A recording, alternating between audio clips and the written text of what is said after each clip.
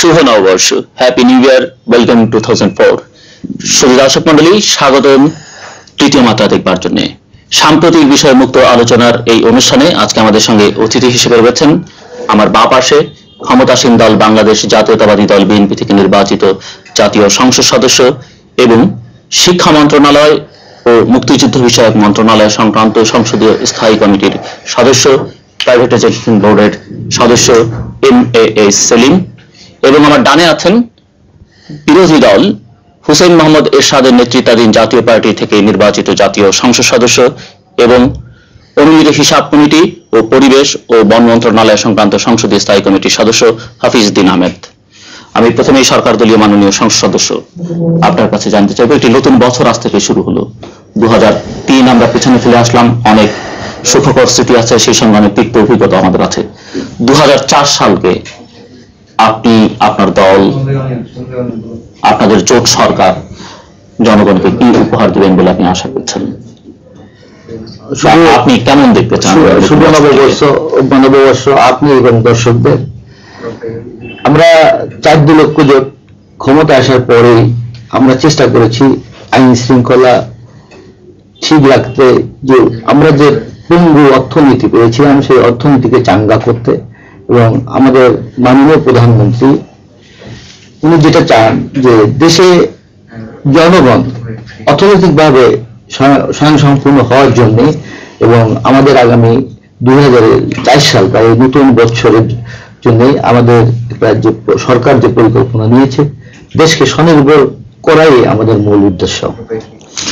দু হাজার চার সালে আপনাদের প্রত্যাশা কি সরকারের কাছে এবং বিরোধী দলের ভূমিকা কি হবে বলে আমরা আশা করতে পারি। আপনাকে অনেক ধন্যবাদ। সেই সাথে দর্শক সবাইকে নব- নববর্ষের শুভেচ্ছা জানাচ্ছি। প্রথমেই বলতে চাই যে দুই সালের যে গ্লানি দুঃখ এবং সম্প্রতি গত আহ, কয়েকদিন আমাদের সেনাবাহিনীর যে সদস্যরা নিহত হয়েছেন তাদের রুহের মাফরত কামনা করে বলতে চাই।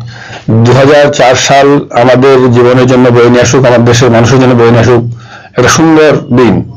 কারণ দু হাজার তিন সালে যেভাবে সন্ত্রাস ছিনতাই রাহাজানি বেড়ে গেছিল। এই সন্ত্রাস রাহাজানি আমরা আর দু হাজার চার সালে দেখতে চাই না। আমরা দেখতে চাই দু হাজার চার সালে বাংলার মানুষ যারা শান্তিতে, সুখে, স্বাচ্ছন্দ্যে এবং যে উদ্দেশ্যে জোট সরকারকে ভোট দিয়েছিল নির্বাচন গত দুই সালের পয়লা অক্টোবরে, সে আশা যেন পূরণ হয়। এটা আমি আজকে সরকারি দলের সংসদ সদস্য সাধারণের কাছে এবং দেশবাসীর কাছে এবং বর্তমান জোট সরকার কাছে এই আশা করব। যে বছরটি আমরা পেছনে ফিরে ফেলে আসলাম, সেই বছর থেকে আপনি কীভাবে মূল্যায়ন করবেন? আর ওনার কথার প্রেক্ষিতে যদি কিছু বলবার থাকে, সেটাও আপনি বলতে পারেন। বিগত যে বছরটা আমরা ফেলে ফেলে আসছি, আমরা বলব না যে আমরা সব কিছুতেই সাকসেসফুল ছিলাম। তবে আমাদের চার যে সরকার, উনিও হয়তো বা স্বীকার করবেন যে আমাদের সরকার যে অর্থনৈতিক যে কন্ডিশনটা পেয়ে আসছিল বিগত সরকারের আমল, আমলে এবং বিগত সরকারের এক শেষ আমলে যেভাবে দেশে সন্ত্রাস খুন শুরু হয়েছিল, এতে যে কোনো একটা জিনিস করতে গেলে বা সরকারকে সবকিছু গুছিয়ে নিতে গেলে একটা সময়ের প্রয়োজন হয়। আমরা মাত্র দুই বছর কয়েক মাস পার করেছি এবং আমাদের দেশে আইন শৃঙ্খলা যতটুকু উন্নতি এই দেশের মানুষ চেয়েছিল, হয়তোবা আমরা সম্পূর্ণ পারিনি। কিন্তু আমরা তার মানে এই না যে আমরা চেষ্টা করিনি বা আইন শৃঙ্খলা আগের চেয়ে কিছুটা উন্নতি হয়নি। যথেষ্ট উন্নতি হয়েছে। আগে আইন শৃঙ্খলা অবনতি আপনারা দেখেছেন যে আমাদের দেশে যারা পুলিশ বাহিনী, যারা আইন শৃঙ্খলা রক্ষা করেন, তাদের কাছে যে সমস্ত আর্মস সরকার থেকে দেয় এবং আপনারা দেখেছেন বিভিন্ন সময় সরকার স্টেপ নিয়েছেন এদের আপ করার জন্য, বিদেশ থেকে আরও আধুনিক অস্ত্র আনার জন্য। কিন্তু আমাদের দেশে যে সন্ত্রাসীরা যে অস্ত্র ব্যবহার করে, সে অত্যাধুনিক অস্ত্র ব্যবহার করে, যেটা অনেক সময় পুলিশও মোকাবেলা করতে এতে সক্ষম হন না। তা সরকারের যথেষ্ট সদিচ্ছা আছে, আমাদের জোট সরকারের সদিচ্ছা আছে। যে আমরা আইন শৃঙ্খলা উন্নতি করতে পারি, যাতে যে এই দেশের মানুষ সুখ শান্তিতে বসবাস করতে পারে। কিন্তু আপনারা দেখছেন কিনা আমি জানি না। আমি বাগেরহাট সদর আসনের সংসদ সদস্য এবং আপনারা জানেন দক্ষিণ পশ্চিম অঞ্চলে একটা সংগঠন আছে যেটা সন্ত্রাসী সংগঠন, যারা বিভিন্ন সময় বিভিন্ন দলের মানুষকে খুন করে ভাড়াটে হিসেবে বা টাকা দিলেই তারা যে কোনো মানুষের জীবনকে হরণ করতে পারে। আমি গতকালকে যখন আমি আমি একটা মিটিংয়ে ছিলাম আমি জানতে পারলাম মোংলায় আমাদের মুক্তিযোদ্ধা সংসদে যিনি ওই ভাইস প্রেসিডেন্ট ছিলেন, ওই মুক্তিযোদ্ধা সেকেন্ড ইন কমান্ডার যিনি ছিলেন সংসদে, ওনাকে খুন করা হয়েছে। তার নাম কিছুদিন আগে মোংলা পৌরসভায় আমাদের এক চেয়ারম্যান হালিম তাকে খুন করা হয়েছে, যিনি আমাদের মোংলা পৌর এলাকায় সবচেয়ে একজন শক্তিশালী নেতা ছিল। এবং আমরা ক্ষমতা আসার পরে আপনাকে একটু একটা চিত্র ধরে তুলতে চাই। এবং আমি যে আসনে নির্বাচন করেছিলাম তিনি বিগত সরকারে যিনি মাননীয় প্রধানমন্ত্রী ছিলেন তিনি ওই ওই এলাকা থেকে নির্বাচন করেছিলেন বাগেরহাট এক থেকে।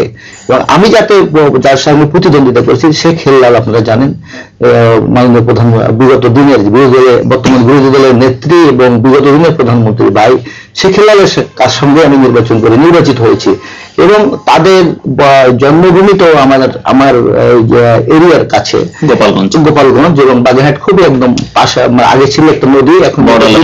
ব্রিজ হয়ে যে এটা এক হয়ে গেছে, যেটার মধ্যে কোনো ডিফারেন্স নাই।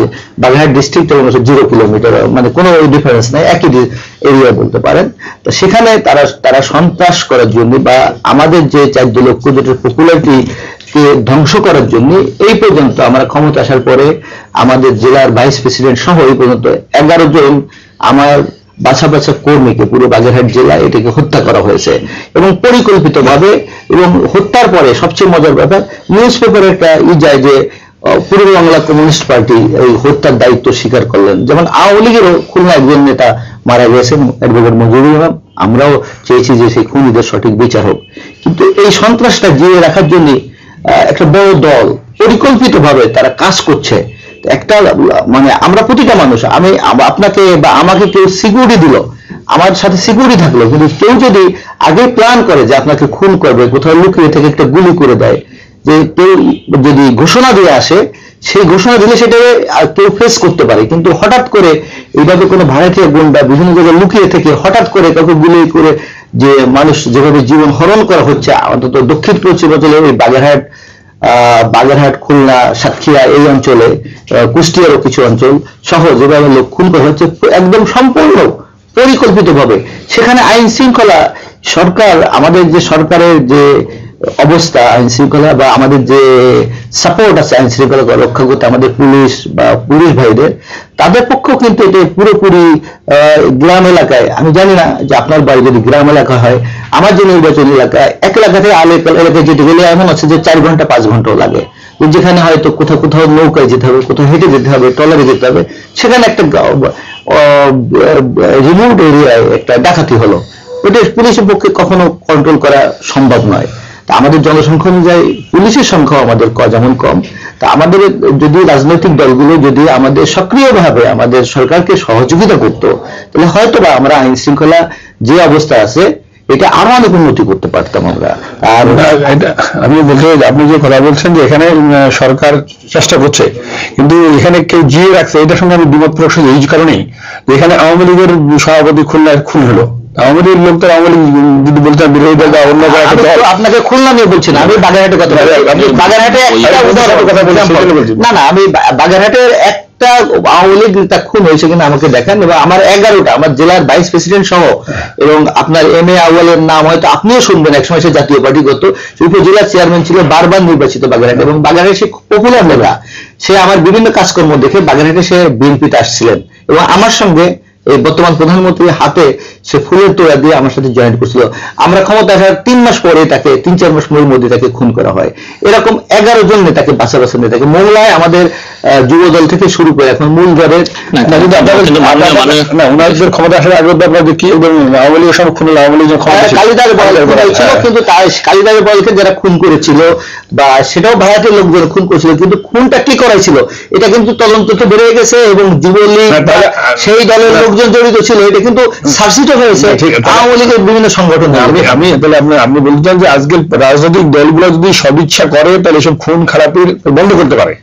কারণ কারণটা হলো যে আপনি বলছেন পরিকল্পিত ভাবে করছে কোন রাজনৈতিক দল হয় সরকারি দল বিরোধী দল বা যে কোনো দল করতে পারে তো সে রাজনৈতিক দলগুলো সক্রিয়ভাবে চেষ্টা করে তাহলে বন্ধ করতে পারে।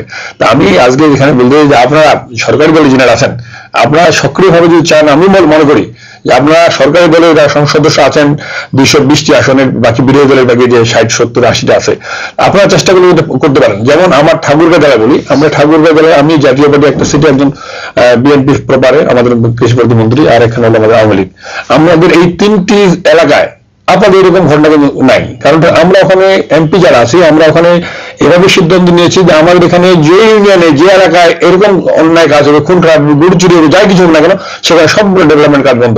আমরা প্রত্যেকটি চেয়ারম্যান নির্দেশ দিয়েছি যে আপনাদের এলাকার স্ব এলাকার, প্রত্যেক ইউনিয়নের দায় দায়িত্ব আপনাদের দিতে হবে, কীভাবে বন্ধ করবে সেটা আপনার দায়িত্ব।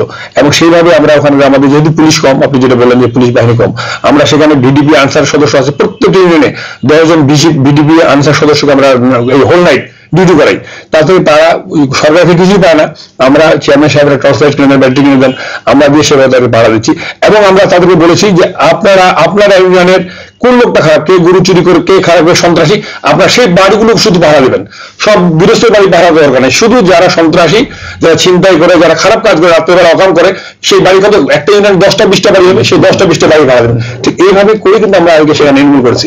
আমার এলাকা আওয়ামী লীগের সময় বলতে চাই আমার এলাকা এরকম ছিল। আমাদের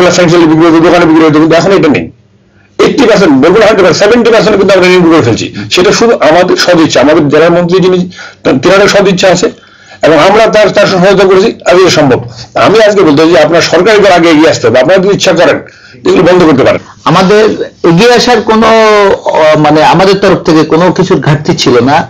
আপনাকে একটু ইনফরমেশন দিয়ে জানাতে চাই, যেহেতু আপনার এলাকা, আমার এলাকা বেশ দূরে, আমরা পাশাপাশি এলাকাতে আপনি আমাকে আরও ভালো বুঝতেন যে আমাদের এলাকার যারা নির্বাচিত হয়েছে, বাগেরহাট এক থেকে শেখ উদ্দিন, বাগেরহাট দুই থেকে আমি নির্বাচিত হয়েছি, বাগেরহাট তিন থেকে নির্বাচিত হয়েছে তালুকদার আব্দুল খালেক, উনি আগে মন্ত্রী ছিলেন, প্রাক্তন মন্ত্রী, এবং বাগেরহাট চার থেকে আমাদের মুফতি সত্তার সাহেব জামাত থেকে নির্বাচিত হয়েছেন।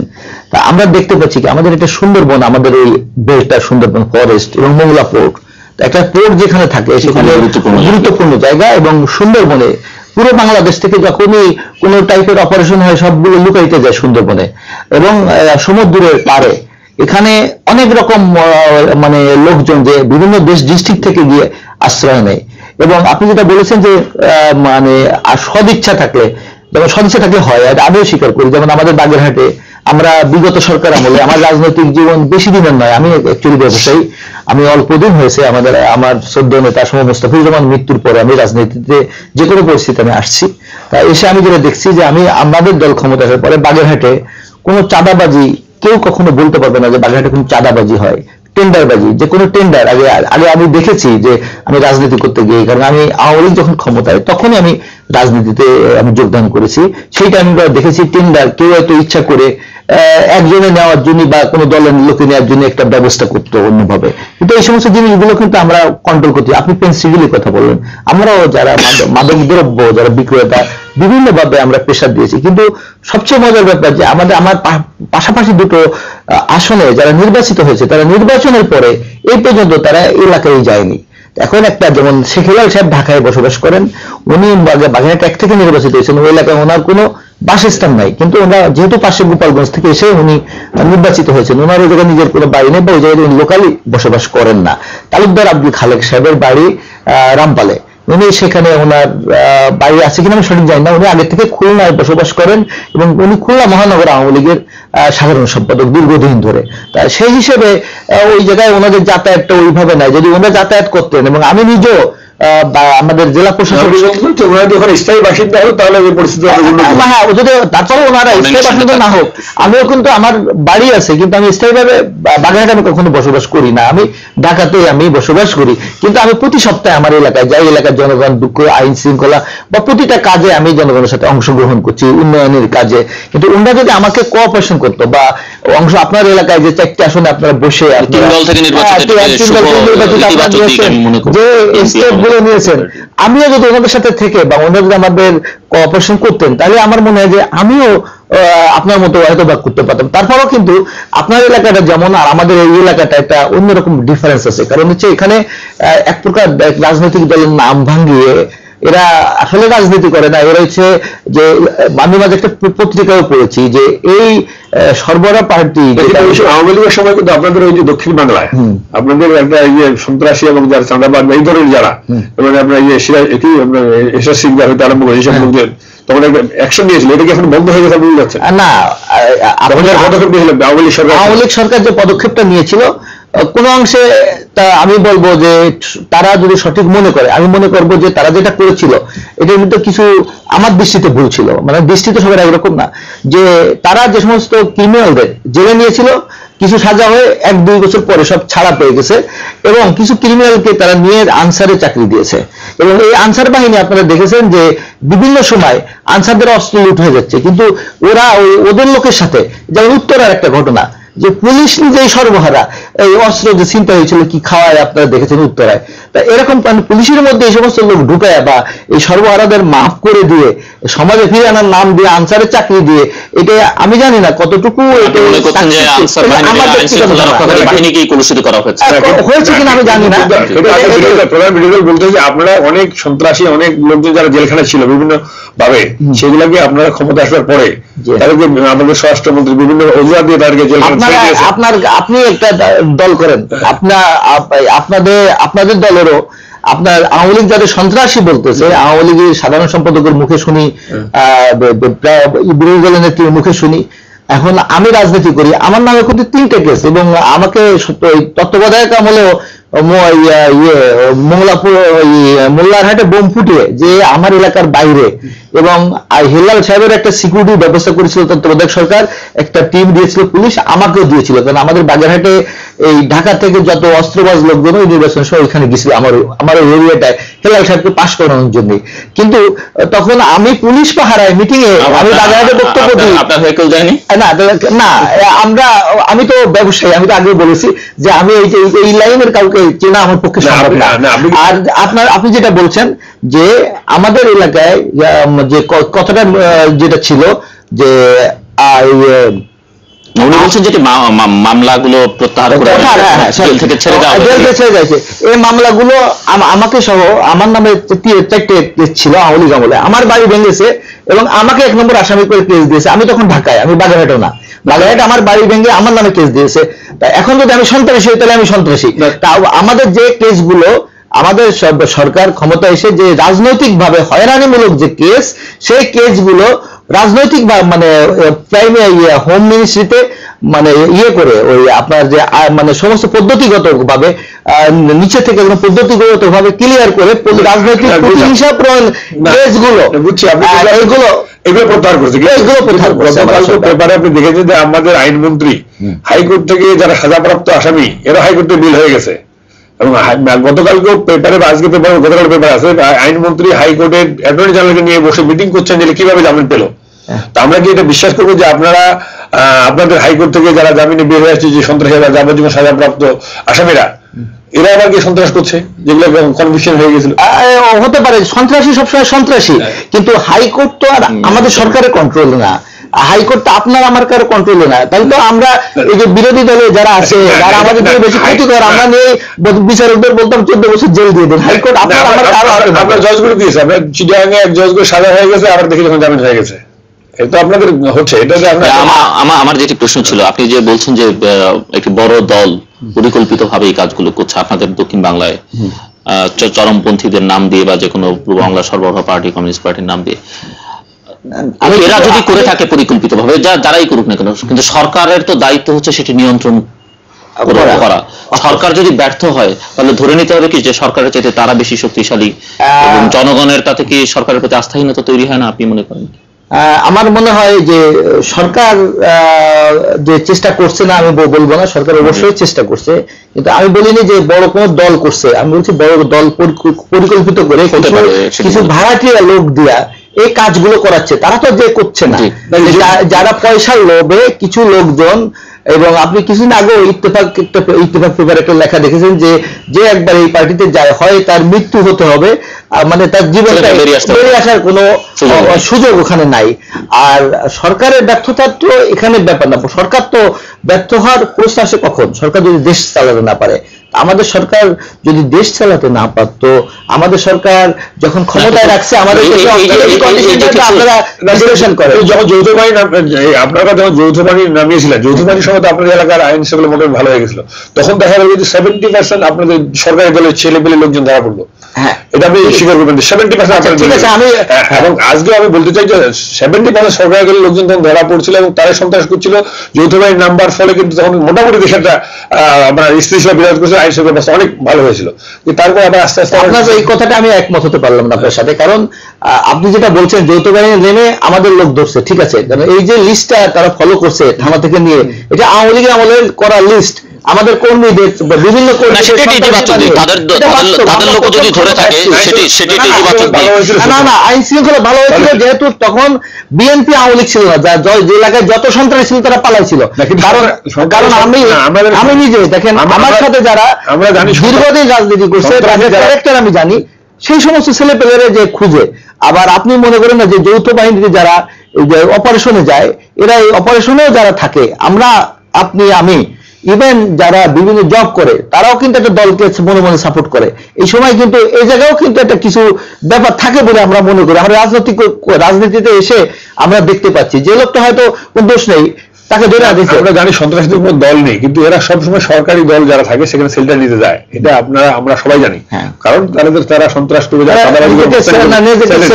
আমরা এই আমরা যদি এদের আশ্রয় প্রশ্রয় না দেন তাহলে তো এদের যাওয়ার জায়গা আমার মনে নাই।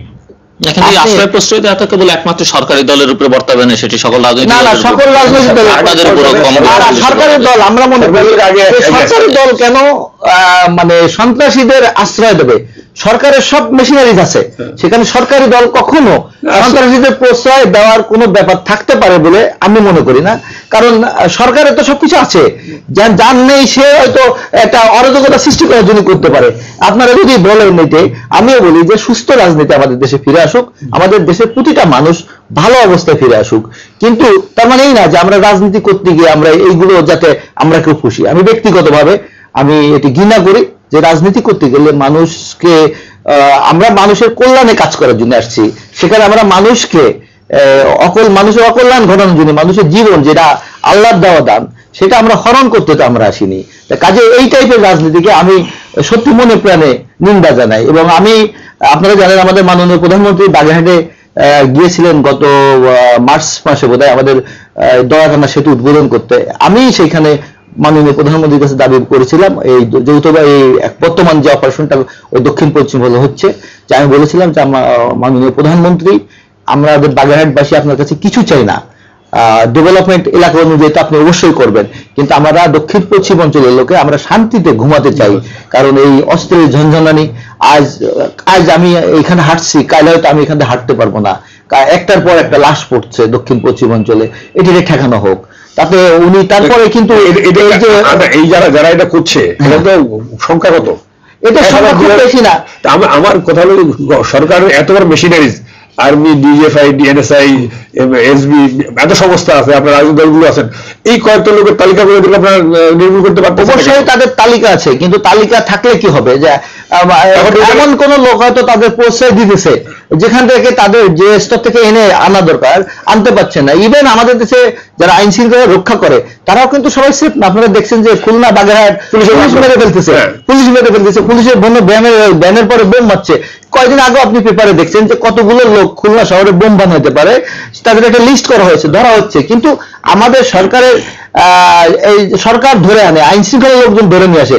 এনে দেয় গিয়ে লোয়ার কোর্টে যদি ম্যাজিস্ট্রেট কোর্টে বেল না দেয় হাইকোর্ট বেল দিয়ে দেয় জজ কোর্টে বেল দেয়। ইভেন একটা ক্রিমিনালকে উপরের কোর্ট থেকে বেল দিয়ে দিচ্ছে। তাহলে এইটা জাজদের উপরে তো আমাদের কোনো কর্তৃত্ব নাই বা সরকারের কোনো কর্তৃত্ব নেই যে একটা জাজ যে জাজমেন্ট দিতেছে।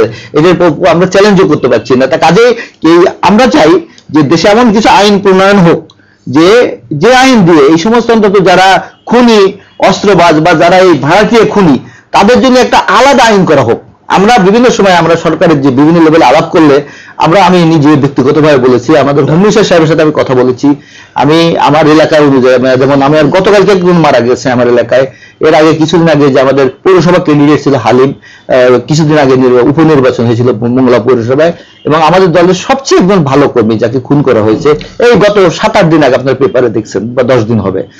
আপনি স্বীকার করলেন যে এরা সংখ্যা খুব বেশি না। বেশি না। বেশি না। আমার কথা হলো এদেরকে আপনারা চিহ্নিত করে চোখ বন্ধ করে আপনাদের সরকারের থেকে বিভিন্ন সমস্যা পুলিশকে আজকে পুলিশের উপর আক্রমণ করছে। পুলিশ কেন নিষ্ক্রিয়? তাহলে পুলিশ কি তাদের সঙ্গে বলছেন যে এটা সমস্যা। এটা সরকার চেষ্টা করছে কিন্তু সমস্যা তো ধরেন আপনি একজন মাননীয় সংসদ সদস্য। এখন পুলিশ ইচ্ছা করলেই তার আপনার বিরোধী করে যদি আপনার বাড়িতে যে এরা থেকে করে আর এরা বিভিন্ন বেশ পাল্টায় যখন আমাদের আমরা দেখছি বাগেরহাটে এরিয়ায় যেমন আমাদের সাপোজ ধরেন বাগেরহাট ফকিরহাটে এরিয়া কর্পোরেশন হচ্ছে এরা ইয়েতে এসে রিক্সা চালাচ্ছে।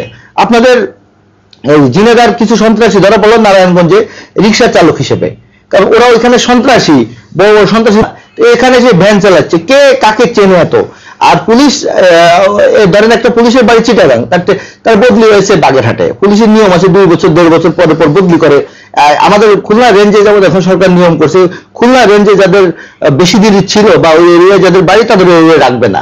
একটা আননোন পুলিশ যে কি করে এত সহজে একটা ইয়েকে সন্ত্রাসীকে মানে চিহ্নিত করবে। তাতে একটা সময় দিতে হবে বা সময় লাগবে। তবে আমরা যদি আওয়ামী লীগ বলেন, জাতীয় পার্টি, যত রাজনৈতিক দল আছে, আমরা যদি সবাই অন্তত সন্ত্রাসের ব্যাপারে আমরা এক হই, যে সন্ত্রাসটা আমাদের সমাজ আসলে একটা ক্যান্সারের মতো। তো এটাকে নির্মূল আমি চাই, আমাদের সরকার চাই, এবং আপনি, আমরা সবাই যদি চাই, এটা অবশ্যই নির্মূল হবে। আপনার কাছে আমার জিজ্ঞাসা উনি দু তিনের মূল্যায়ন করছিলেন। আপনি দু হাজার তিন সালকে কীভাবে দেখছেন বা আপনার দল? দুই হাজার তিন সাল দেখলেন? আমরা দেখেছি যে আপনি সন্ত্রাসের কথা বলেছেন অন্য আর কি দুই হাজার তিন সালে আমাদের দেশের আপনার যেটা যে এখানে সন্ত্রাস তো ছিলই আপনি চিটাঙ্গে দেখেছেন ব্যবসায়ীদের যে এটা কিডন্যাপিং এখনও জামালুদ্দিন সাহেব উদ্ধার হয়নি। আবার কয়েকদিন আগে মার্কিন ব্যবসায়ীকে এখানে কিডন্যাপ করলেন। চিটাঙ্গে একরকম ঘটনা আপনার দক্ষিণ বাংলায় একরকম অবস্থা। ঢাকা শহরে এক অবস্থা। তো দুই হাজার তিন সালে আমরা এইভাবেই দেখেছি এই সরকার দুই হাজার তিন সালে আইন শৃঙ্খলার যেটুকু যে প্রতিশ্রুতি দিয়েছে সেটা করে বাস্তবায়ন করতে পারে নাই। তা আমরা আশা করব আজকে আমি সাধারণ মানুষের পক্ষ থেকে বলতে চাই, এবং সরকার দলের এমপি আছেন আপনাদের চ্যানেলের মাধ্যমে সরকারকে বলতে চাই, দুই হাজার চার সাল যেন আমরা এটা থেকে বের হয়ে আসতে পারি, এটা আমার আজকে প্রত্যাশা। আপনার কাছে জিজ্ঞাসা যে শিক্ষা জাতির মেরুদণ্ড শিক্ষাটি গুরুত্বপূর্ণ আমাদের সরকারও শিক্ষা খাতকে গুরুত্ব দিচ্ছে অন্তত কাগজে কলমেতেই আপনি কি মনে করেন যে শিক্ষা খাতে যে কাজগুলো করা দরকার, সরকার কি বা সরকারের যেসব প্রতিশ্রুতি আছে, সেগুলো কি সরকার যথাযথভাবে বাস্তবায়ন এটা তো আমাদের একদম মাননীয় জাতীয় পার্টি সংসদ সদস্য সাহেব আছেন উনি ভালো করে জানেন যে শিক্ষা সম্পর্কে সতর্ক বর্তমান সরকার বা আমাদের মাননীয় প্রধানমন্ত্রী শুধু প্রতিশ্রুতি না, আমাদের পার্লামেন্টও, আমাদের যে বাজেট উনি নিয়ে কথা বলছেন যে আমাদের মহিলাদের শিক্ষা ব্যাপারে এবং আপনার তিন বাচ্চা স্কুলে গেলে কত টাকা পাবে? এগুলো প্রতিশ্রুতি, আমরা বাস্তবায়ন করেছেন আমাদের মাননীয় প্রধানমন্ত্রী। শুধু প্রতিশ্রুতি দেন নেই। এবং আমি দেখেছি যে আমার এলাকায় যে স্কুলগুলো বিভিন্ন ভাবে ওই ডেভেলপমেন্টের ব্যাপারে যেগুলো স্কুল বলেন, যে আগে যেগুলো টিন শেড, আমরা যেমন ছোটবেলায় যেখানে পড়ছি, হয়তো সোনের ঘর ছিল, সব জায়গায় বিল্ডিং হয়ে গেছে। রাস্তাঘাট কমিউনিকেশন গ্রাম এলাকায় আমরা যেগুলো কোন সময় কল্পনা করতাম না যে পাঁচ, ছয় ঘন্টায় যাব, সেগুলো অনেক ডেভেলপমেন্ট হয়েছে। শুধু আমি বলব না যে আমাদের এই সরকার এসে করছে। বিগত সরকারে যারা ছিলেন, তারাও করেছে। আমরা নাইনটি ওয়ান থেকে নাইনটি সিক্স পর্যন্ত ক্ষমতা ছিলাম, তারাও করেছেন। এবং ইশাদ সাহেব সাহেব, জাতীয় পার্টির সময় যখন রাষ্ট্রপতি ছিলেন, উনিও সময়ও হয়েছে। তা কাজে ডেভেলপমেন্ট এখন গ্রাম এলাকায় অনেক ডেভেলপমেন্ট হচ্ছে আরও হবে শিক্ষা অবকাঠামো অবকাঠামোর উন্নয়ন হয়েছে। আপনার স্কুল ঘরের উন্নয়ন হয়েছে ফার্নিচারের উন্নয়ন হয়েছে রাস্তাঘাটের উন্নয়ন হয়েছে কিন্তু শিক্ষার মানের কোনো উন্নয়ন হয় নাই। কেন? মান উন্নয়ন মান হয় না, উন্নয়ন এই করে। মান উন্নয়ন হয় নাই কারণটা হলো মান উন্নয়ন হয় নাই কারণ আমি দেখছি পরীক্ষায় ফাঁসের পরীক্ষায় এখন যদি আপনি নকল করে পাশ করেন আর আমাদের সাকসেসফুল না, না, যেটা হচ্ছে আওয়ামী লীগ আমলে যে ওপেন বই নিয়ে নকল করে লেখাপড়া আপনি কি নকল পদ্ধতিতে শিক্ষা চান? না আপনি লেখাপড়া করে শিক্ষার মান উন্নয়ন এই হয় না এই কারণে বলতে চাই যে আমার স্কুল ঘরের উন্নয়ন হয়েছে ফার্নিচার উন্নয়ন হয়েছে যোগাযোগ ব্যবস্থা ভালো হয়েছে। কিন্তু লেখাপড়া মান উন্নয়ন এই- এই জন্য হয় না যে আমার ওখানে একটা প্রাইমারি স্কুল ছাত্র চারশো তিনশো ছিচল্লিশ জন শিক্ষক হলো দুইজন তিনজন। তিনজন। এখন এই তিনজন শিক্ষক তিনশো ছিচল্লিশ জন প্রাইমারি স্কুলে কীভাবে পড়াবে? সেখানে আপনি হাই স্কুলে যান। হাই স্কুলের যে অবস্থা তাতে আপনার কোনো কোনো স্কুলে ছাত্র আছে শিক্ষক বেশি শিক্ষক আছে কোনো ছাত্র নাই। সরকারি স্কুল যেগুলোতে কলেজ যেগুলোতে আমার সরকারি কলেজে বাইশটা পদ খালি, বিয়াল্লিশটার মধ্যে। আমার ইংরেজি শিক্ষক একটা ডিগ্রি কলেজ আড়াই হাজার ছাত্র লেখাপড়া করে এখানে ইন্টারমিডিয়েট ডিগ্রি পর্যন্ত, আড়াই হাজার ইংরেজি শিক্ষক নাই। এই যে অবস্থা, আমার কথা অবকাঠামোর উন্নয়ন হয়েছে, কিন্তু শিক্ষার মান উন্নয়ন হয় না এর জন্য দায়ী আমি বলব যে আজকে আমরা যারা রাজনীতি করি, আমি কয়েকদিন একটা সেমিনার বলেছি, একটা জনসভা বলেছি, আমরা রাজনীতি যারা এবং অভিভাবক এবং শিক্ষক মন্ডলী, আমাদের শিক্ষার মানটাকে উন্নয়ন করতে হলে অভিভাবক সচেতন হতে হবে এবং শিক্ষক যারা আছে তিনাদেরকে সক্রিয় হতে হবে এবং আজকে সরকার যে অবকাঠামো দিয়ে শুধু দায়িত্ব এড়াই যাবেন তারা, এটা মনিটরিং করার জন্য দায়িত্ব নিতে হবে। আপনি যেটা বলছেন ঠিক আছে, শিক্ষা, শিক্ষার শিক্ষকের স্বল্পতা আমিও অস্বীকার করব না, আছে। কিন্তু এটা কি আমরা এই দেড় বছর ক্ষমতা এসে এর মধ্যে এত শর্টফল হয়ে গেল? না বিগত আপনি একটু পিছনে ব্যাক করতে পারেন। পাঁচ বছর সে কি করেছিল শিক্ষা? আওয়ামী লীগ কি করেছে?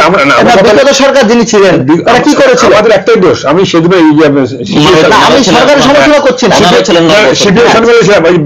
আঞ্চলিক ডেলিগেশন আসলে ওরা শুধু আমাদেরকে বলল যে তোমাদের এখানে পার্লামেন্টে দেখি একজন আরেকজনের সমালোচনা করে। কে কি করেছে না করে সমালোচনা তোর ভবিষ্যতে কি করবে কি করতে এটা কোনো আলোচনা করে না কেন পার্লামেন্টে আমাকে কথাটা এত সুন্দর লাগল যে আমরা পার্লামেন্টে গেলে আপনারা আওয়ামী লীগের পাঁচ বছরের বদনাম করেন। তারা আপনাদের বদনাম করে, কিন্তু আপনারা এটাও পার্লামেন্টে কেউ বলেন না যে আমরা এই করছি, ভবিষ্যতে এই করতে চাই। আমি আজকে আপনাদের জাতির কাছে আপনার কাছে প্রশ্ন সরকার বলে আমি সংসদে আপনারা পার্লামেন্টে বিগত দিনে কে কি করেছেন? আওয়ামী লীগ যা করেছে আপনাকে তাই করবেন? তাহলে তো আমাদেরকে ভোট আপনাকে দিবে না। যেহেতু আপনাকে ভোট ভালো একটা করবেন, সেই জন্যই।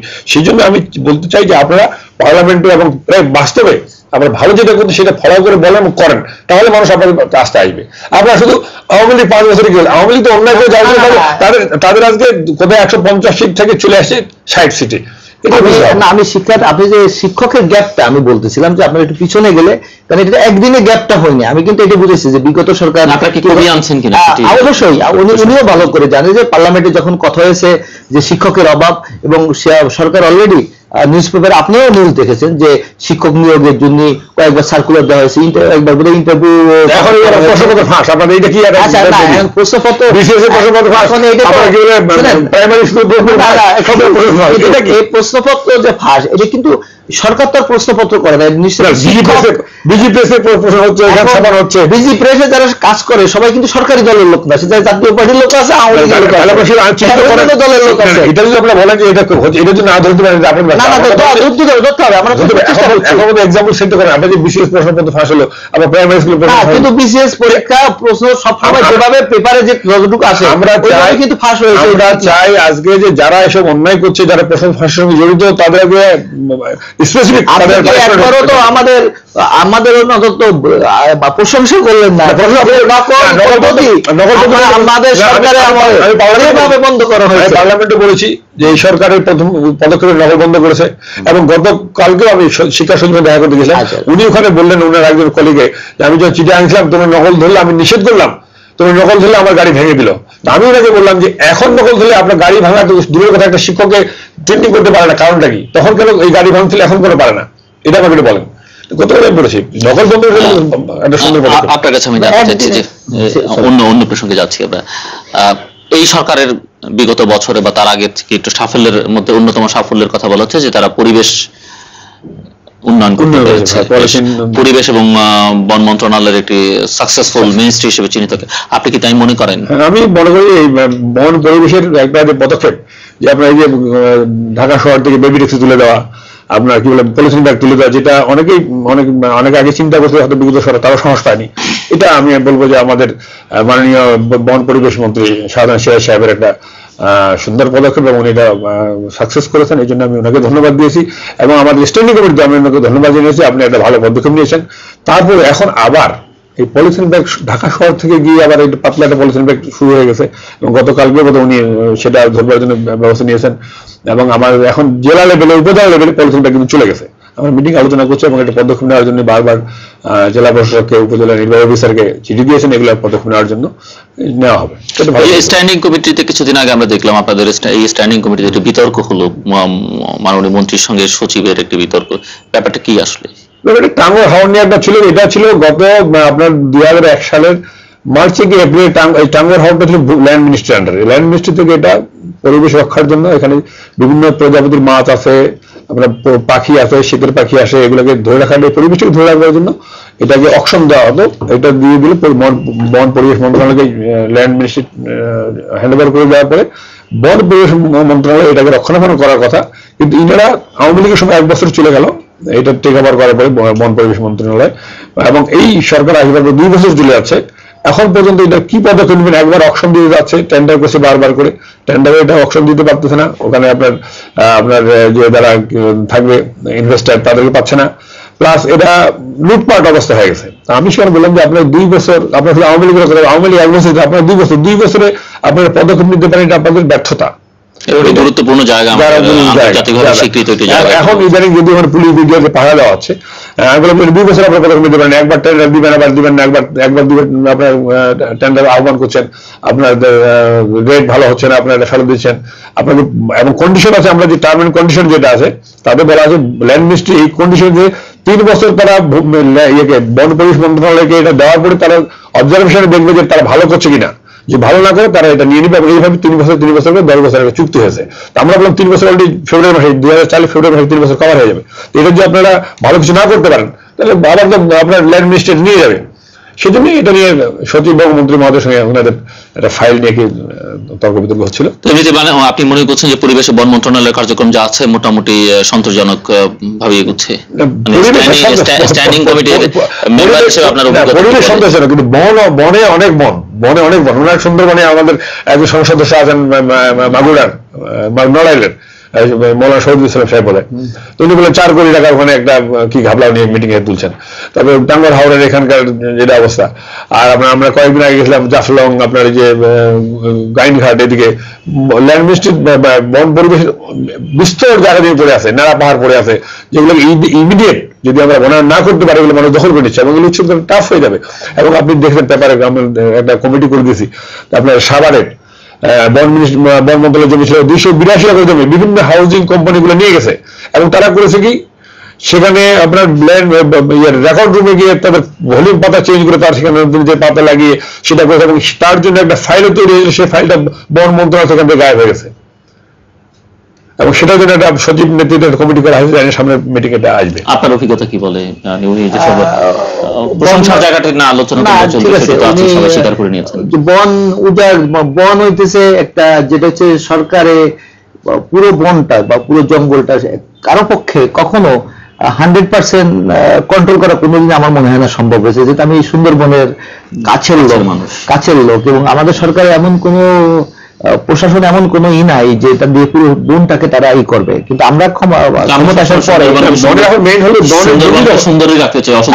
চাই দেখতে চাই। না। এবং আমাদের আমাদের মাননীয় প্রধানমন্ত্রী নিজে উনি আমাদের বাগেরহাটে গিয়েছিলেন ক্ষমতা আসার পরপরই যে উনি সুন্দরবনকে ইকো ট্যুরিজম করার জন্য একটা কমিটি করেছেন, এটা নিয়ে অনেকবার মিটিং হয়েছে প্রাইম মিনিস্টার দপ্তরে, এটা বোধহয় কামাল সিদ্দিক হিসাবে তত্ত্বাবধায় মানে একে কাজ চলছে যে সুন্দরবনটাকে আরও আকর্ষণীয় করে তোলার জন্য একটা পদক্ষেপ নেওয়া হয়েছে। কিন্তু ওই যে কিছু লোক গরিব লোক হয়তো বা জঙ্গল থেকে কিছু কাঠ বিভিন্ন অবৈধ পন্থায় নিতে পারে। কিন্তু সেটা হচ্ছে এটা ফরেস্ট ডিপার্টমেন্টের ব্যাপার।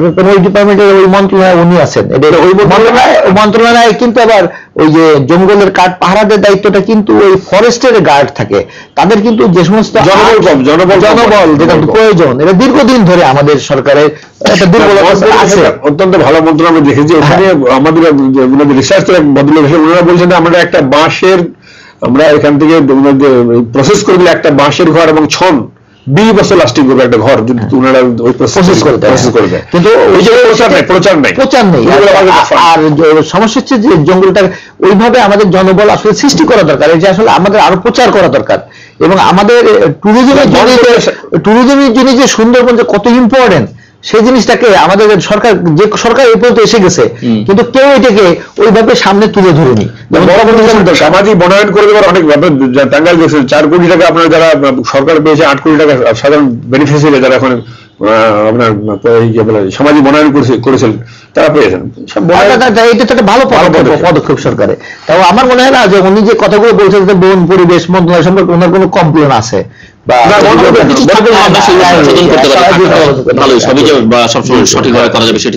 এই সরকারের একটি অন্যতম প্রতিশ্রুতি ছিল মুক্তিযুদ্ধ বিষয়কে একটি মন্ত্রণালয় করা সেটি সরকার করেছে। কিন্তু আপনি কি মনে করেন যে এই মন্ত্রণালয় কোনো ইতিবাচক প্রভাব ফেলতে ফেলতে পেরেছে? হ্যাঁ, আমি নিজে একজন মুক্তিযোদ্ধা।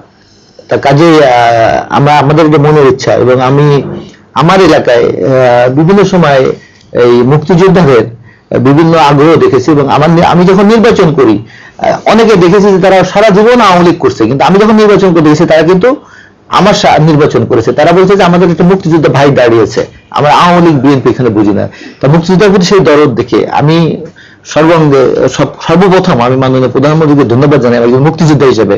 যে উনি এই মন্ত্রণালয়টা করে দিয়ে আসলে মুক্তিযুদ্ধের কল্যাণে কিছু উনি করতে চেয়েছেন। এখন হয়তো একটা নূতন মন্ত্রণালয় এটা দুই বছরে এটা গুছিয়ে আনা কারও পক্ষে মুক্তিযুদ্ধ কল্যাণ ট্রাস্টে যে অনেক প্রপার্টি আছে আপনাদের অনেক ইন্ডাস্ট্রি আছে এগুলো কি আপনারা লাভবান না এগুলো না এটা এটা সম্পর্কে তো আমি মুক্তিযোদ্ধা যারা মুক্তিযোদ্ধা মুক্তিযোদ্ধা সংসদে এইগুলো যে অ্যাডমিনিস্ট্রেশন চলতো এই অ্যাডমিনিস্ট্রেশন আলাদা ভালো জবাব দিতে পারবে। আমি একটা এলাকার সংসদ সদস্য আছেন, সেই কারণে বলা আপনি কিন্তু বরাবরই এটি খাওয়ার জায়গা। জায়গা। এখানে কি পদক্ষেপ নিয়েছেন? যে আপনাদের কল্যাণের নামে অকল্যাণটাই বেশি হয় আপনাদের মুক্তিযুদ্ধ মুক্তিযুদ্ধ কল্যাণ ট্রাস্টে অনেক শিল্প কারখানা আছে। আপনাদের গুলিস্তান সিভাল মুক্তিযুদ্ধ কল্যাণ ট্রাস্টে মার্কেট জি। করেছেন এই যে আপনাদের বিভিন্ন অভিযোগ শুনে যায় পেপার পত্রিকার লোকের মুখে। আপনারা স্ট্যান্ডিং কমিটি কি পদক্ষেপ নিয়েছেন? এটাকে রোধ করবার আচ্ছা স্ট্যান্ড কমিটি আমাদের স্ট্যান্ড কমিটি এগুলো তদন্ত করে ব্যবস্থা নিয়ে নেওয়ার চেষ্টা দেখতেছে। আসলে যেগুলো প্রচার হয় বা রটে এই যে সব যে না, সঠিক এটি কেবল- তা নয়। এই সরকারের আমলে না এটা বিভিন্ন সময় বিভিন্ন সময় যেহেতু আপনি এটা মুক্তিযোদ্ধা বলে- জি জি। হ্যাঁ। এই আমরা- চাই না যে মুক্তিযোদ্ধার কোনো অ্যাসেট যে বিগত সরকার বিভিন্ন সরকারের আমলে মুক্তিযোদ্ধাকে যে অ্যাসেট দিয়েছে সেটা কেউ লুটে পেটে এটা আমরা চাই না। এটা মুক্তিযোদ্ধার কল্যাণে ব্যবহার হোক আর এটা আমরা চাই। সেটা যেহেতু আমাদের নতুন আমরা- জানি স্থায়ী কমিটির বয়সে কয়দিন হয়েছে।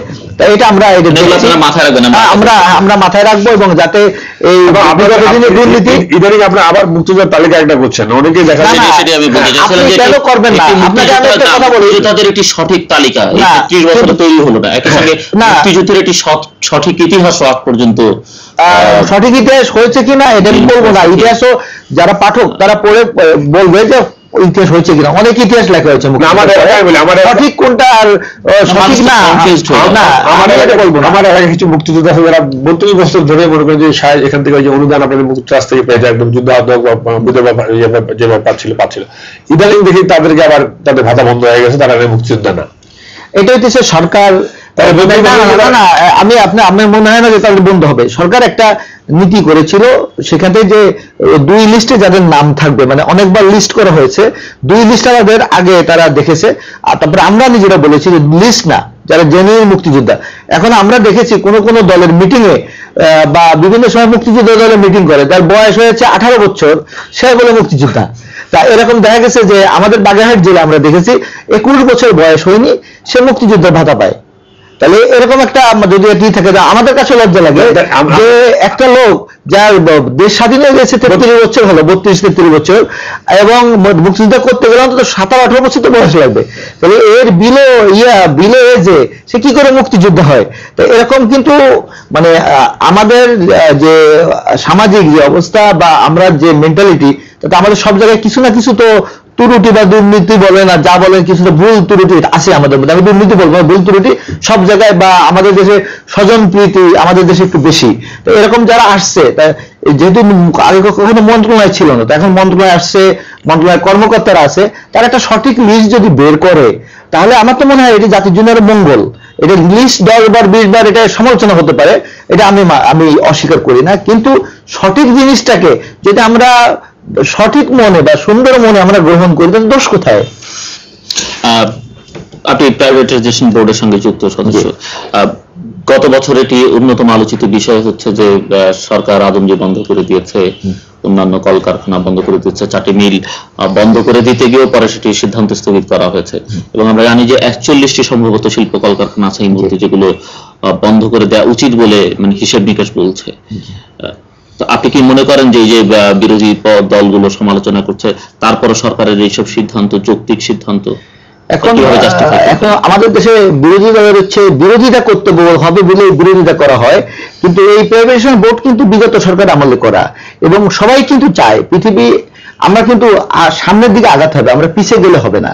যেমন বিগত আমাদের দেশ স্বাধীনতার পরপরই সমস্ত মিল কারখানাগুলো যেভাবে একটা জাতীয়করণ করে একটা ভুল সিদ্ধান্ত ছিল এবং কিছু আমলারা এটাকে লুটে পেটে খেয়ে এটাকে একদম শুধু শূন্য করে দেয়নি, আমাদের জাতি, জাতিগতভাবে বা একটা শিশু জন্ম নিলে সে এখন কত টাকা দায়গ্রস্ত হয়ে জন্ম নিচ্ছে আপনারা ভালো করে হিসেবটা জানেন।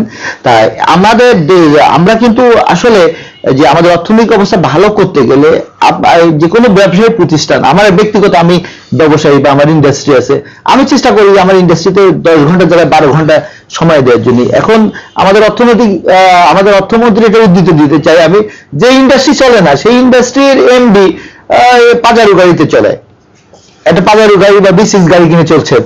তাহলে যে ইন্ডাস্ট্রি চলে না, যার কোনো প্রোডাকশন নেই, লাভ নাই, তো এরকম কর্পোরেশন অনেকগুলো আছে। তা আমি মনে করি সরকার যত দ্রুত এই সমস্তগুলো প্রাইভেটে দিয়ে সরকার দায় মুক্ত হতে পারে, তত জাতি দায় মুক্ত হতে পারে, আমার মনে হয়।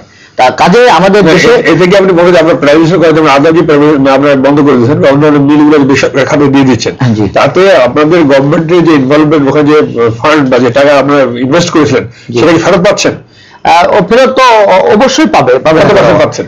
আমার তো মনে হয় যে আদমজিতে না এখন ওই জায়গায় আহ, শিল্প ইয়ে, ইয়ে, পার করার কথা হয়েছে। যদি শিল্প পার করে তখন জমি একটা এখন তো এটা ইসের ভিতরে আছে এটা প্রজেক্ট প্রোফাইল টাইপের করছে যে এই কীভাবে আগে ইন্ডাস্ট্রিয়াল পার্ক যেটা করবে এটা এখন সরকারের নীতি নির্ধারকরা এটা ই করছে যে ভ্যালু প্রাইভেশন বোর্ডের মধ্যে এখানে দেখা যায় আত্মীয়করণ দলীয়করণ না না প্রাইভেটাইজেশন বোর্ডে এটা আপনার ভুল ধারণা প্রাইভেটাইজেশন বোর্ডের কিছুই নাই। এখানে হচ্ছে যে যে মন্ত্রণালয় তাদের ইন্ডাস্ট্রি বিক্রি করতে যাবে তারা একটা চিঠি দেবে প্রাইভেশন বোর্ডকে সেই বোর্ডে ওটি নিয়ে বোর্ডের কাজ হচ্ছে ওইটাকে টেন্ডারের মাধ্যমে ফ্লোট করে এটা আমরা বিদেশিদের অগ্রাধিকার দিই যে যাদের ফরেন ইনভেস্টমেন্ট ইনভেস্টাররা যাদের বেশি আসে। এবং টেন্ডারের মাধ্যমে যে সবচেয়ে হাইয়েস্ট বিটার তাকে ইন্ডাস্ট্রি তাকে সেই ইন্ডাস্ট্রিটা দেওয়া হয়। একবারে জায়গায় আমরা পাঁচজন পাঁচজন সদস্য জাতীয় সংসদ সদস্য ওই কমিটিতে আছি পরবর্তীতে আরও দুজন অ্যাড হয়েছেন। মানে সাতজন সংসদ সদস্য ওখানে আছেন। আমরা সবসময় সরকারের পক্ষ থেকে বিরোধী দলের কেউ আছে?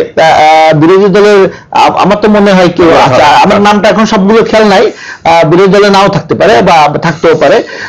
তবে ওইখানে সচিবরা আছেন। যতগুলো মন্ত্র আছে এটা ফেডারেশনের সভাপতি আছে। তবে আমি আপনার সাথে একমত না যে এখানে সরকার দলীয়করণ করতে গেলে আত্মীয়করণ করতে গেলে তাহলে তো এতে সরকার ওপেন টেন্ডার দিত না ইন্টারন্যাশনাল টেন্ডার দিতেছে টেন্ডারের যে ওপেন টেন্ডার হওয়ার মধ্যে আপনার অনেক ডিপার্টমেন্টের কাজকে আপনার দলীয় ভাবে নিয়ে যাচ্ছেন কীভাবে নিয়ে যাচ্ছেন এটা হয় দলীয় না, না।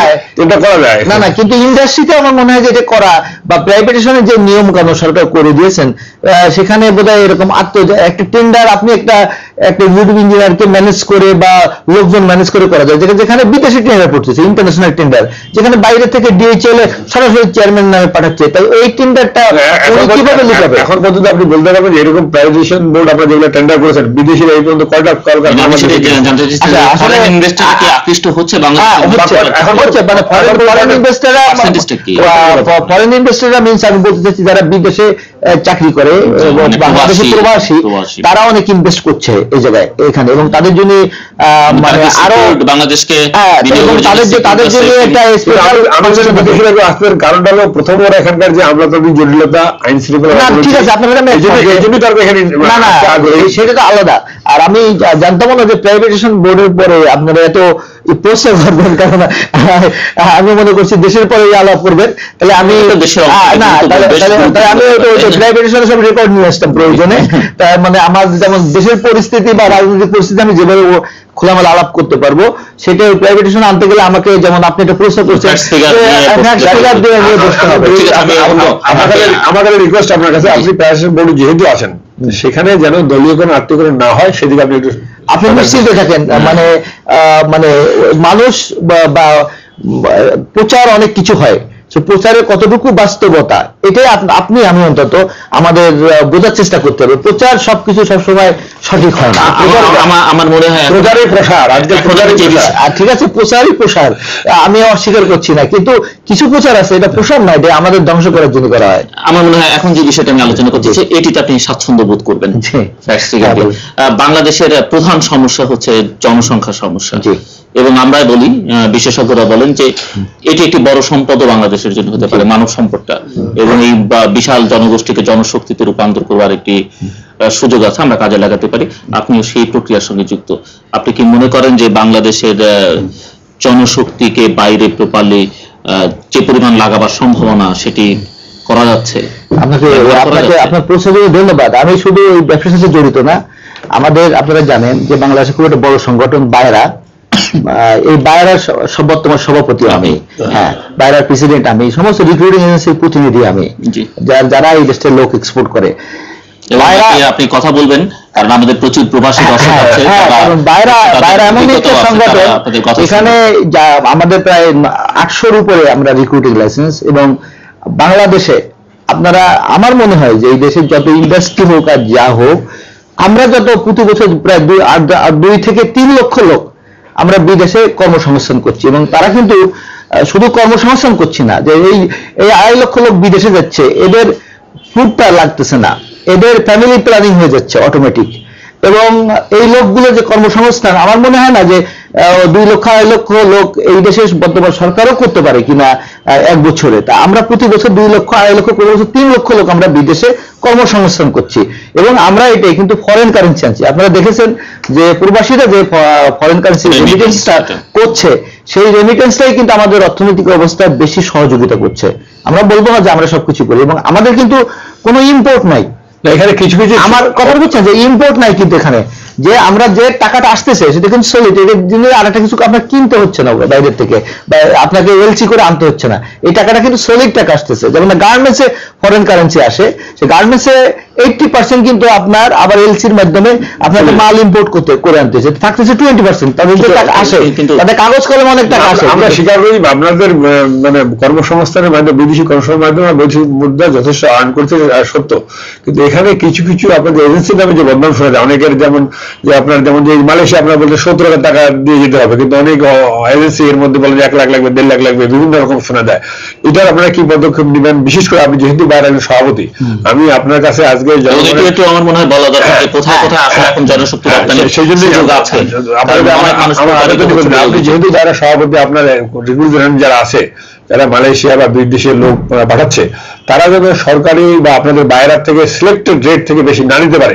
এই জন্য আপনি কি পদক্ষেপ নেবেন এটা আমি আজকে আমি আজকেও আমাদের মাননীয় মন্ত্রী মহোদয়ের সাথে এই ব্যাপারে আমাদের বাইরের মিটিং ছিল। আমরা সবসময় চেষ্টা করছি যেমন মালয়েশিয়া, আমরা আমরা আপনারা দেখেছেন কিছুদিন পূর্বে আমরাও নিজের খবর পেয়েছি যে মালয়েশিয়ার মেডিকেল হচ্ছে বিভিন্ন মেডিকেল সেন্টারে গ্রাম থেকে কোটি কোটি টাকা এভাবে কালেকশন করা হইতেছে বিভিন্ন লোকের মাধ্যমে। তা এই যেহেতু মালয়েশিয়াতে যা লোক পাঠানোর নাম নিয়ে। আমরা শোনার সঙ্গে সঙ্গে আমাদের মাননীয় মন্ত্রী মহোদয় এবং আপনি জানেন আমাদের এই প্রবাসী কল্যাণ মন্ত্রণালয় এটাও একটা নতুন মন্ত্রণালয় প্রবাসীদের জন্য। হ্যাঁ আমাদের সরকারের দুটো কমিটমেন্ট ছিল মুক্তিযোদ্ধা এবং প্রবাসী। তা প্রবাসীটাও সরকার করেছে জনবল কম। তারপরও কিন্তু আমাদের মন্ত্রী সাহেব যথেষ্ট স্পিরিটি মন্ত্রী মিনিস্টার এবং উনি ইয়াং এবং উনি একজন যে ব্যক্তিগত জীবনে সার্ভিসে ছিলেন পরে ব্যবসায়ী এবং উনি সত- সত্যিকারে যে উনি চেষ্টা করছেন যে এটাকে কীভাবে কন্ট্রোল করা যায় তো এই যে টাকা পয়সা উনি নিজে পর্যন্ত এই বিভিন্ন মেডিকেল সেন্টারে ওনার সচিবকে নিয়ে গিয়ে উনি থানার পুলিশ নিয়ে গিয়ে রেড দিয়ে পর্যন্ত লোক ধরছে লাইসেন্সদের ব্ল্যাক লিস্টেড করছে যে যাদের নাম বলেছে কিন্তু বাস্তবে হচ্ছে এই যে ব্ল্যাক লিস্টে কিছু করেছেন হ্যাঁ অলরেডি দুটো না তিনটে লাইসেন্স উনি যেটাকে পেয়েছে যে যাদের নাম নিয়ে কারণ আসলে ওই লাইসেন্স হওয়ার কতটুকু ইনভলভ আমি জানি না। আপনারা জানেন গ্রাম এলাকা থেকে এক পদ লোক বিভিন্নভাবে মিডিলম্যান হিসেবে পরিচিত এরা বা ব্রোকার বা দালাল হিসেবে পরিচিত এরা গ্রাম থেকে লোক কালেক্ট করে বিদেশে বিভিন্ন প্রলোভন দিয়ে। কিন্তু আসলে কিন্তু হয়তো আপনি বলবেন যে আপনাদের কাছে আসতে পারে না। আমি উত্তর দেবো আমি উত্তর দেবো এটার উত্তর দেবো। তবে আমি এটা বলতে চাই যে আমরা এই বাইরায় আমার নিজে আমি সভাপতি হিসেবে আমি না হলে পাঁচ ছয়টা দৈনিক পত্রিকায় বিজ্ঞাপন দিয়েছি আমাদের প্রবাসী কল্যাণ মন্ত্রণালয় বিজ্ঞাপন দিয়েছে মিনিস্ট্রি থেকে সরি টেলিভিশনে দেওয়া হয়েছে যে মালয়েশিয়ার সাথে আমাদের সরকার একটা এমইও হয়েছে পরবর্তীতে মালয়েশিয়ার মন্ত্রী আসছে এগ্রিমেন্ট হয়েছে যে লোক ওই দেশে যাবে। কিন্তু এখনও লোক কোন পদ্ধতিতে যাবে এটা এখনও পর্যন্ত ঠিক করা হয়নি কোনো ডিমান্ড আসেনি। তাহলে আমাদের দেশের লোকজনও সম্ভাবনা আছে। অবশ্যই এবং ডিমান্ড আনবে এগ্রিমেন্ট হয়েছে অন্তত যদি আমরা আমরা সরকার চাইছে সত্তর হাজার টাকার মধ্যে এটা রেট রাখা। এবং আমরা সরকার এবং আমাদের আমাদের অ্যাসোসিয়েশন আমরা বসে আমরা একটা পলিসি করে দিয়েছি যে কীভাবে রেটটা এই দেশে কন্ট্রোল করব। সেটা আমরা করেছি এবং আজকে আমাদের মিটিং এ কথা হয়েছে যে কীভাবে আমরা ওই বিদেশে যে সমস্ত লোক বিজনেস প্রকুরমেন্ট করে, যারা ওই ডিমান্ডগুলো কালেক্ট করে তাদের কীভাবে আমরা কন্ট্রোল করব? আমরা বাইরে থেকে একটা পরামর্শ দিব যেটা আমাদের আরও প্রায় এক মাসের মতো সময় আছে এই ব্যবসা আসার। তা কিন্তু আমাদের দেশের জনগণেরও সচেতন হতে হবে যে কাকে সে টাকা দিচ্ছে কার কথায় টাকা দিতেছে। যে বিজনেস আসলো না লক্ষ লক্ষ আমাদের অনেক এমপি সাহেব মন্ত্রী সাহেব আমাকে বলেছেন যে কি বলো তোমার কাছে কাজ নাই বা দুনিয়ার মানুষ চলে যেতেছে? তা এইটা হচ্ছে দুনিয়ার মানুষ চলে যেতেছে মানে গ্রামে রব উঠিয়ে দিছে ব্রোকার এমন ভাবে যে সব লোক মালয়েশিয়াতে চলে যাচ্ছে। হ্যাঁ কিন্তু এক শ্রেণির লোক আমাদের দেশে আছে এবং শুধু আজকে না, আরও আগেও গেছে যে এয়ারপোর্ট থেকে বিভিন্ন দেশের ভিসা নিয়ে, ধরো সাপোজ ধরো কোনো কারণে থাইল্যান্ডের ভিসা কালেকশন করল, এখন শুনতেছি শ্রীলঙ্কার কোন দ্বীপে যায়, আবার মালদ্বীপ নামে একটা জায়গা আছে, এখান থেকে প্লেনের টিকিট কাটে, মালদ্বীপে যায়, মালদ্বীপ থেকে তারা এইগুলোর ব্যাংক মালয়েশিয়া কীভাবে যেন ঢুকায়। তো এই যে পদ্ধতিটা আমাদের সরকারের আমি সরকারকে বলব, সরকারকে আরও কঠোর হতে হবে। কারণ আমরা দেখেছি হোম মিনিস্টারের সাথে মিটিং করে যে ইয়ে তারা বলে যে একটা লোকের ভ্যালিড পাসপোর্ট সেই দেশে ভিসা থাকলে এবং রিটার্ন টিকিট থাকলে তাকে আটকানো কোনো স্কোপ সরকারের নাই যে সে ভিজিটে যাচ্ছে। কিন্তু আমাদের দেশে যদি লিগাল জনশক্তি রপ্তানি করার জন্য এরাই সবচেয়ে বড় প্রতিবন্ধকতা। কারণ এরা ইনলিগাল ভাবে যে এখন কিছু কিছু আমরা এইভাবে কোরিয়াতে অনেক লোক আছে যার পাঁচ বছর আট বছর হয়ে গেছে। আপনার ইটালিতে আছে ফ্রান্সে আছে মিডল আপনার কি বলে যে গ্রিসে আছে। অনেক অবৈধ আছে। আপনার এদের কি বৈধ করার জন্য কোনো পদক্ষেপ দিয়েছেন বাইরে অবশ্যই আমাদের না এটা এটা তো বাইরে পদক্ষেপ নেবে না। আমরা সরকার আমরা হ্যাঁ, অবশ্যই আমাদের মাননীয় মন্ত্রী মহোদয় নিজে ইটালিতে গিয়েছেন।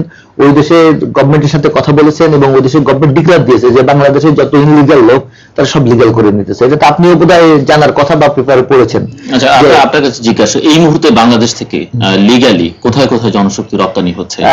আপনার আপনার ধরেন সৌদি আরব হচ্ছে আমাদের সবচেয়ে বড় মার্কেট কুয়েত তারপরে ইউএই। মানে জনগণের জানা থাকা। ভালো।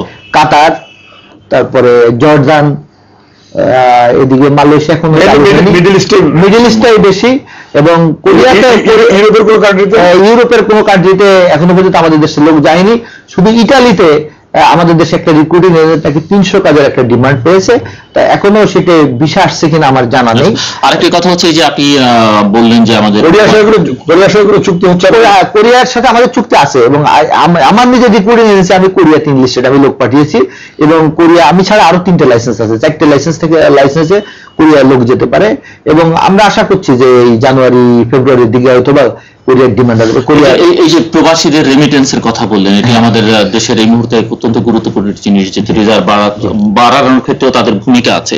কিন্তু তাদের আসলে যাদেরকে আপনারা পাঠাচ্ছেন তারা কীভাবে আছে? তা বা তাদের কল্যাণে আসলে কি কাজ হচ্ছে? আচ্ছা, আমরা মাঝে মধ্যে এই অনুষ্ঠান করতে গিয়ে আমরা প্রচুর চিঠি পাই যে আপনার প্রশ্নটা আমি বুঝছি। বুঝতে পারছি যে আপনার প্রশ্ন কি করবেন। আমাদের দেশে মিডল ইস্টে যায় বিভিন্ন জায়গায় যায়। আপনাকে ছোট একটা উদাহরণ দিই যে সাপোজ ওই সৌদি আরবে তো উমরা করতে যায় চিটাগাং এর এই সাইডের লোকজন বেশি যায়। উমরা করতে যে এরা ওই যে টিকিটের পাসপোর্ট বিক্রি করে দেয় ওরা ইনলিগাল ভাবে থেকে যায়। বিভিন্ন ভাবে এই ইনলিগাল লোকজন গুলোই বেশি ধরা পড়ে এবং ই হয়। সাপোজ ধরেন মালয়েশিয়ান গভর্নমেন্ট আপনাদের, আমাদের দেশের দশ হাজার লোক নিল তিন বছরের এগ্রিমেন্ট করে কোম্পানি তিন বছর পরে তো লোকটা দেশে ফেরত আসতে হবে। তখন সে দেশে ফেরত না এসে, যেহেতু আমাদের বাঙালি, আমরা যেহেতু আমাদের দেশে আসলে আসলে তো ওইরকম পয়সা আয় করতে পারে না। এই জিনিসে ওইখান থেকে পালায় যায়। কিন্তু কিন্তু একটা লোক পালায় গেল ইনলিগাল হলো। এটা কিন্তু লিগাল না। এই যে ইয়েতে কোরিয়াতে আমরা লোক পাঠিয়েছি তিন বছরের এগ্রিমেন্ট ট্রেনিং হিসেবে। তারা গিয়ে দশ বছর ধরে আছে, তারা কেউ আসতেই চায় না। এবং আমরা এখানে বহুত নিয়ম কানুন করে দিয়েছি, কারণ আমরা কিন্তু এই ব্যবসা লস করি। আর কোরিয়াতে এমন সম্ভাবনা আছে, কোরিয়া এক বছর যে লোক লোক নেয় সেই লোকের টাকা যদি রেমিটেন্স আসবে তাতেই বাংলাদেশের বাজেটের টাকা হতে পারে। কোরিয়াটা। না কোরিয়াটা কিছু কিছু হুন্ডিতে আসে না আমি বলব না। কিন্তু সেই জায়গায় সরকারের সেই ফ্যাসিলিটি সৃষ্টি করতে হবে তো।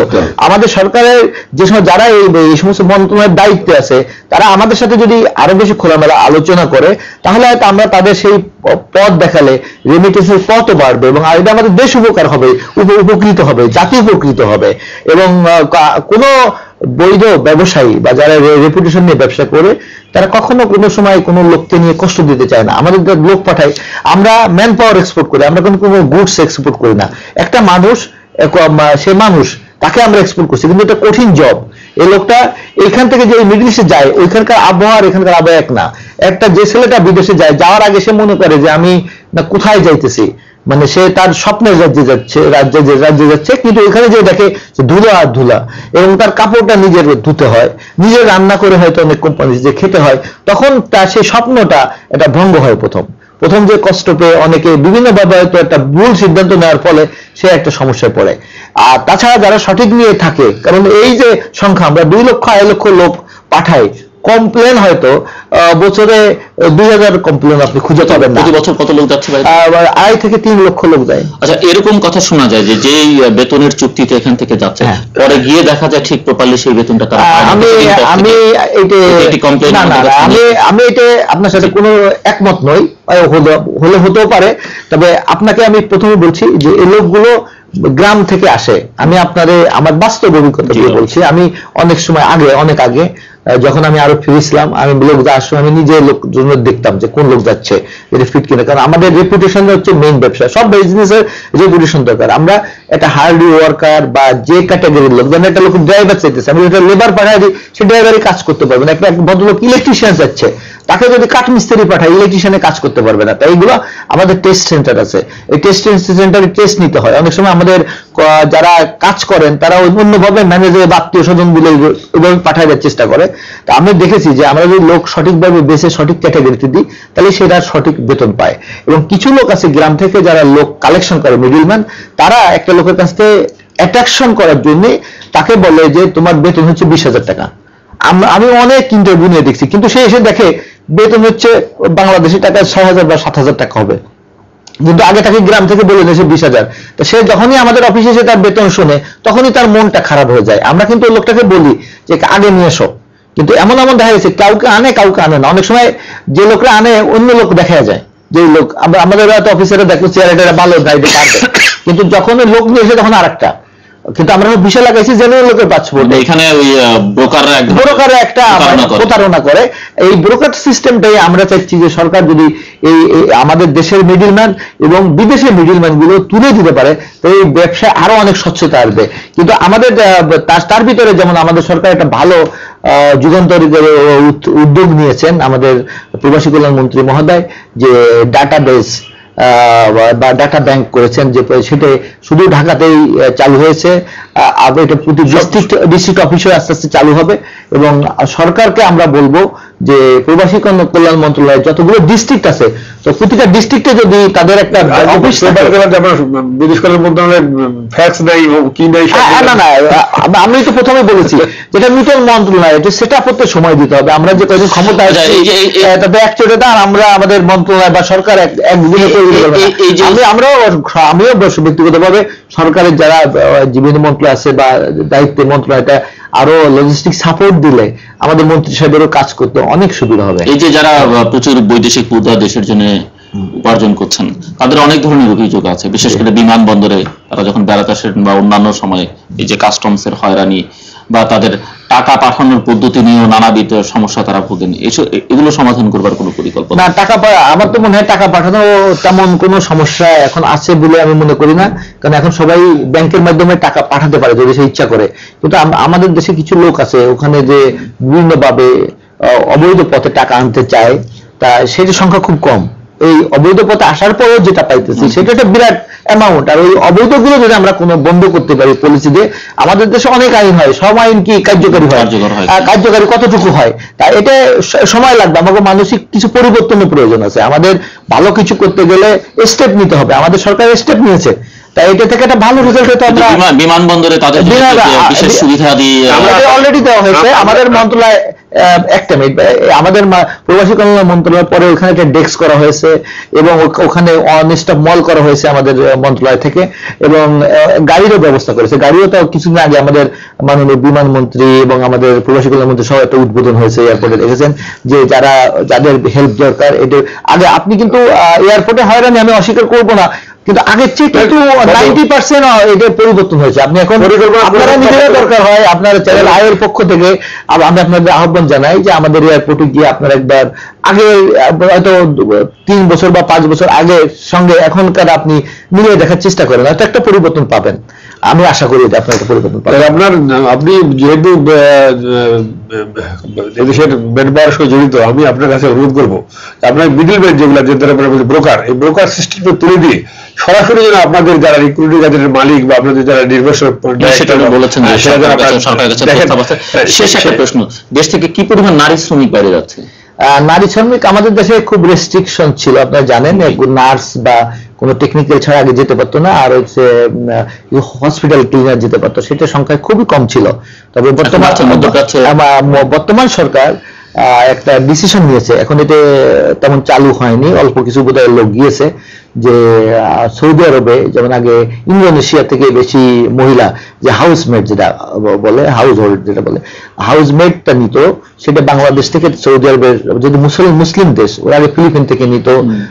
এই সমস্ত দেশে সবাই মুসলিম না এরা খ্রিস্টান থাকে বিভিন্ন ধর্মে তারা বাংলাদেশ থেকে নিতে চায়। কিছু মহিলা পাঠানো কিছু সামাজিক সমস্যা আছে যেটা আমরা মুসলমান, আমাদের কালচার নিয়ে তারাও মুসলমান, কিন্তু তারপরেও কিছু সামাজিক সমস্যা আছে।